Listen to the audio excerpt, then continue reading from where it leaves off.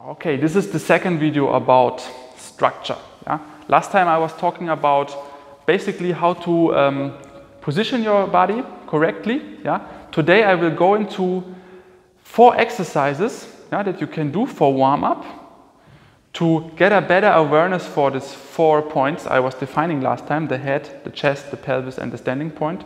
Yeah? And to learn better how to balance them towards each other. Because many of us, we don't really have a feeling how to position, how to, how to hold the body, how to place the head or the pelvis right, because we have no, like, um, either we have so tense muscles that are holding our body in a wrong position because of wrong habits, yeah, that we had from previous uh, habits, or we are just unable to, to shift the, the, the body in a certain way because we have no connection to these muscles that they are around this area.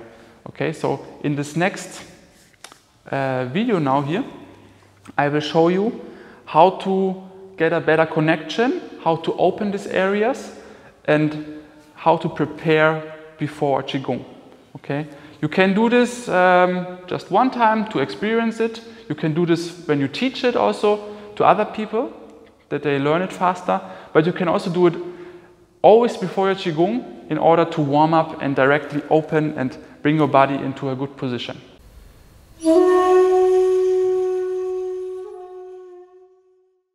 I will um, show you now these four exercises and basically like this prepare you for the standing Qigong, okay?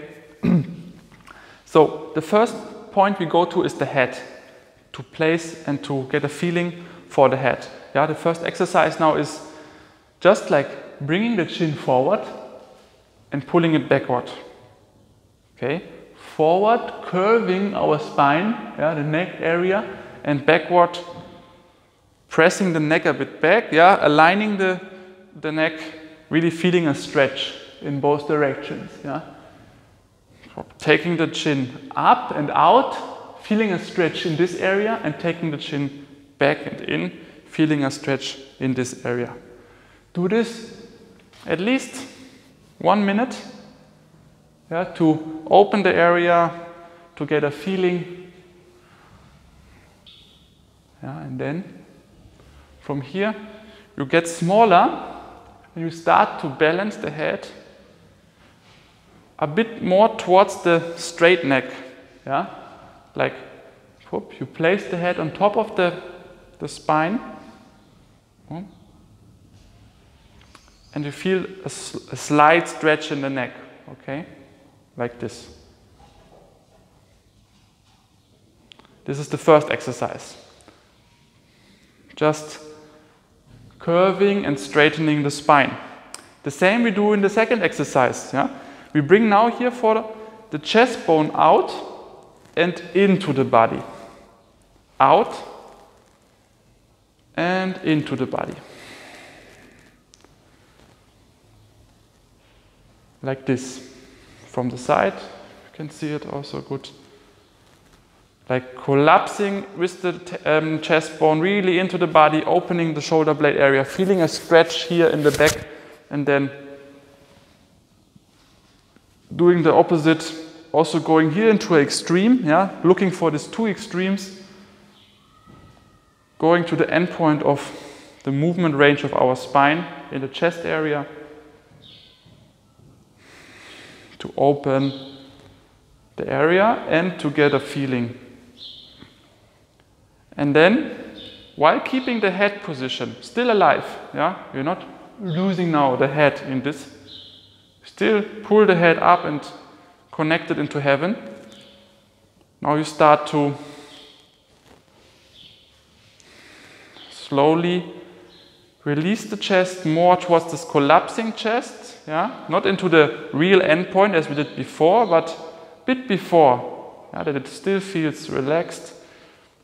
You will also feel how the stretch in the neck maybe will get a bit more because now the head is pulling up, the chest is pulling a bit down. This is opening the space in between, yeah, stretching the muscles that are shortened. And with the time, you will have more space in your spine, yeah, in between the segments in this area already. So having already two points that stretch and open by relaxing. Yeah? Positioning the head over the chest. Now the head is floating over the chest. Chest is relaxed. This is the second exercise. Okay. Now the third. For this I turn directly to see it better. Yeah. It's like a bit like here Donald Duck. Yeah. You bring the tailbone up and then you pull it down. Boop. Yeah. As much as you can. Up and down. Up and down. Up and down. Yeah, so you really feel the end point of this, the lower back now and the tailbone. Boom. And then also here, same principle. Yeah, you start with the time to get smaller in the movement. Whoop. And balance it a bit more towards the heavy tailbone. Yeah? Not in the end point, like this would be the end point of my heavy tailbone. Yeah, now I really lock my hip joints. But no, I bring it slightly towards the heavy tailbone, still not on the end point with relaxed hip joints. Yeah, my lower back is relaxed, my pelvis is now in one line with the chest and with the head. Okay? So you have already now the three points aligned, opened area, yeah, and feeling the three points floating over each other. Now, the last point is the standing point. Yeah? Herefore, we have two exercises. And now I try to keep these three points as they are. Yeah? My head pulling up, chin slightly in, chest relaxed, and the chest floating over the pelvis, while the pelvis is heavy with the tailbone, the lower back relaxed. Hip joints are still free. Okay? Now the weight is floating into my legs, and from here I start to shift the weight from leg to leg. Yeah? Keeping these points, observing what happened with the three points when I shift here, how I can still hold them aligned over each other, how I cannot lose them, yeah? And shifting, pouring the weight from one leg to the other. This you can also do like with the other points around one minute. And then you balance slowly the weight more towards the middle. Yeah? Finding exactly where both legs carrying the same amount of weight. And there you stay. Okay, this is one dimension. Now we go to the second dimension, keeping the weight equal to both legs, but now shifting to the heel and to the ball. Heel and ball.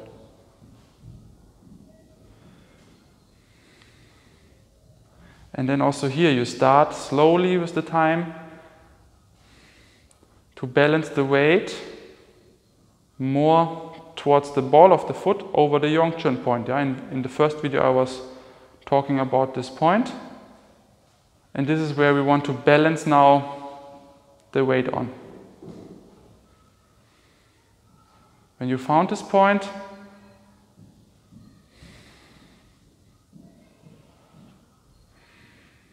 start to relax.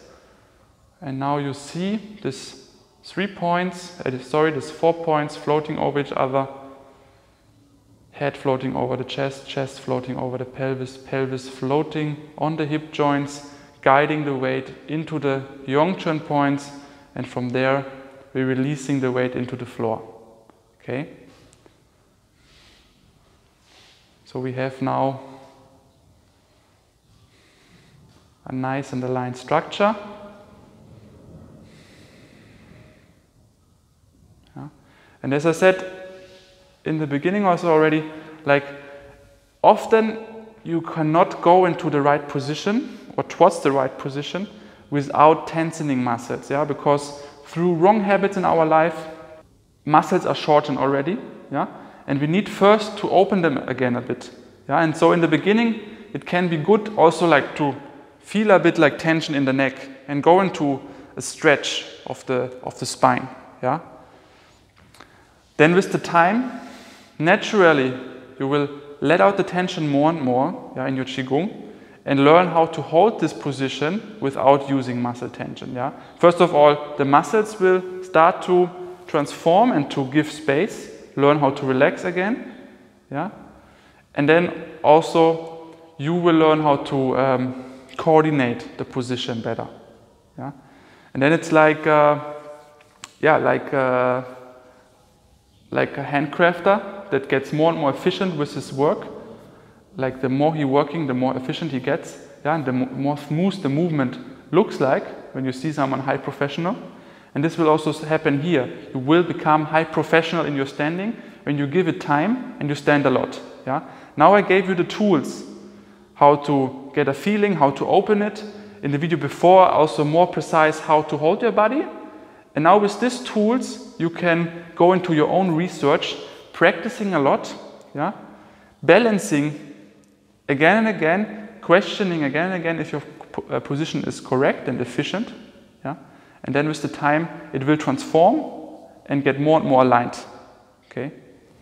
If you have questions, write it in the comments. I will be happy to answer. And yeah, and if you enjoy, share the video. And what else do people say after a video like this?